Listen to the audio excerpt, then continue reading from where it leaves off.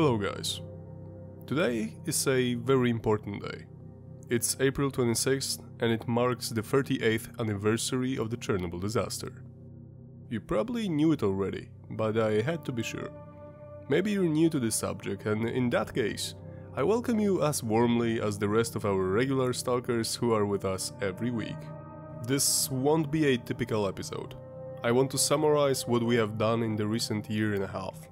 We restarted the channel at the beginning of December 2022, and since then we have published over 70 videos on many different topics. But one thing was always connecting each of these episodes Chernobyl. We have dedicated ourselves to this subject not because we made a game about it. Quite the opposite. We made the game because we have been interested in Chernobyl for many years. And here is a little spoiler Watch the video until the very end. Won't say anything more now.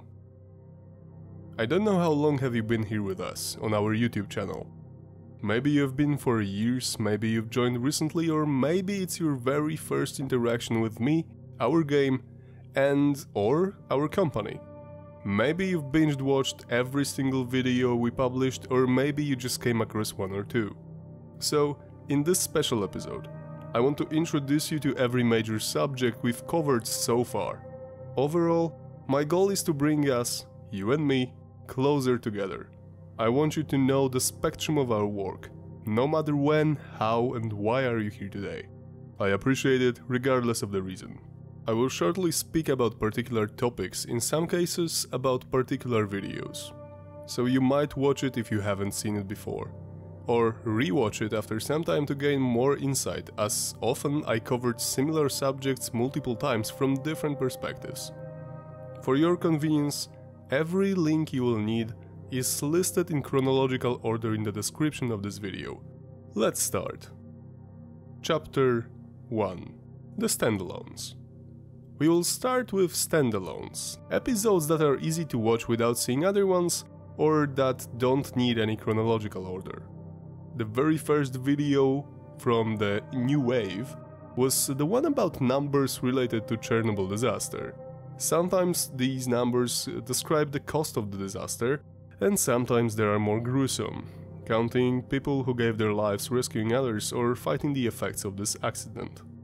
Another one was really important in the matter of speculations and false information. We tried to explain how bad and dangerous the radiation in the Chernobyl exclusion zone really is. Spoiler, it's very different from what you could have imagined.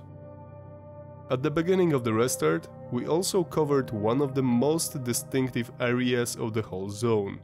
We tried to explain why exactly is it called red in the first place. And, of course, what happened to it. When we were traveling to the zone over many years, we often encountered surprising locals, different animals, including dogs and even a very friendly fox who is especially well known to all stalkers there. The zone, thanks to its unique purpose, hosts dozens of species, some of which were once believed to be extinct in that region. We also don't deny we were inspired a lot by pop culture, science, or even science fiction.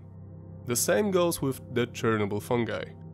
There are some interesting species living inside the zone in places where no one expected them to even be able to live. We covered two episodes with a slightly different approach. One was also purely theoretical, the other was strictly scientific. While we were creating both our videos and our game, thanks to the subject being better known due to games and the TV show, we encountered also specific questions. Some of our fans were asking why we use the word stalker because they thought it was created by other game developers for the series called, surprise, Stalker. Despite we love these games, as well as many others, the word wasn't coined by their creators. In the process of explaining the word's origins, we also made an episode about the name of the nuclear power plant. So, how Chernobyl became, well, Chernobyl. Chapter 2 The People of Chernobyl Around that time, we thought that it was enough of the standalone episodes. You got the necessary introduction to several subjects, so we started to prepare a longer series. First, we started with the HBO Chernobyl TV series. Ah yes, You either love it or hate it, there is no between. We have to admit, as entertainment, it was such a great show we rewatched it at least 20 times, uh, probably more. But there is a problem with HBO's work too. A lot of people wrongfully assumed that everything pictured there was true. This is a problem on at least two levels. First, it's a misunderstanding of how the emotional entanglement into the plot of any TV series works.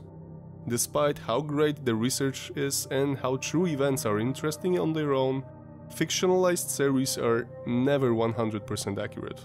On the contrary, they often oversimplify a lot of side stories, characters, or events.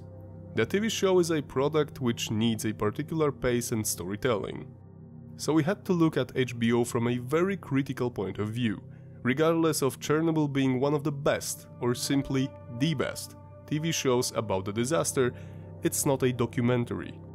In this series, we are dedicated to explaining the differences between real life and TV fiction. Having in mind how many people were involved in some way in the Chernobyl disaster, we had to also explain a lot about them. Timelines, particular characters at different places, moments before, during, and after the accident, etc. Overall, we still have to cover dozens of people, but we try to organize the episodes so you can better grasp what happened, where it happened, and why some particular person was important to this part of the whole Chernobyl story. That's why we created both a general playlist called The People of Chernobyl, as well as separate playlists dedicated to particular power plant workers or firefighters. Many more are incoming, but that's nothing new if you have been with us for some time already. I told you many times that so far we have more plans for the episodes than time to create them. On the other hand, we also try to cover the history of the place itself, both Pripyat and Chernobyl nuclear power plant.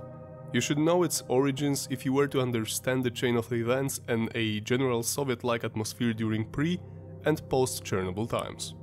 That's why we created a series called The History of Pripyat. Chapter 3 The Game Of course, we can forget about our main occupation, the game. Chernobylite was being created for several years, including early access on Steam. During that time, many things inside the project changed. I like to think that for the better.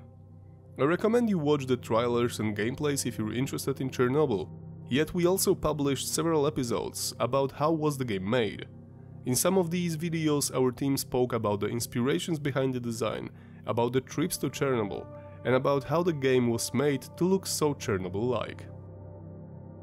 And I think that our goal is not only to deliver you a memorable experience created by playing our game. We traveled to the zone many times. We feel connected to it, to its people, and its history. That's why, despite working on the game, we also dedicated ourselves to bringing you closer to the history of that place and events. We hope you enjoy our videos, even though they are not perfect.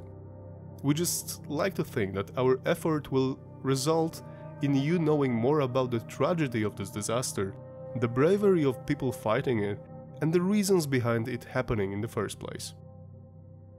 This was a special episode, created for the 38th anniversary of the Chernobyl disaster. I couldn't think of a better way than to give you all a chance to learn more about it through the videos we already created. I'm really happy you are here with us. Thank you. As for the little news I have for you, keep an eye on our social media during these upcoming days. That's the first.